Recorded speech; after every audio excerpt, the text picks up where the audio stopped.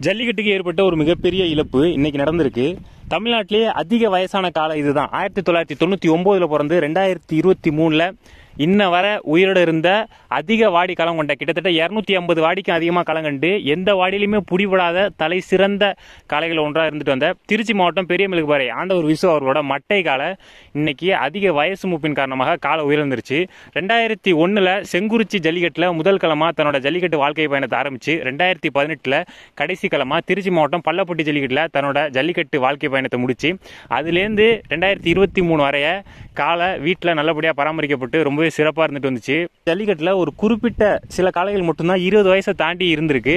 அந்த வகையில் இந்த காலையும் ஒரு சிறப்பான காலை அனைத்து ஜல்லிக்கட்டு ஆர்வலர்கள் சார்பாகவும் ஆழ்ந்த இரங்கலை தெரிவிச்சுக்கிறேன்.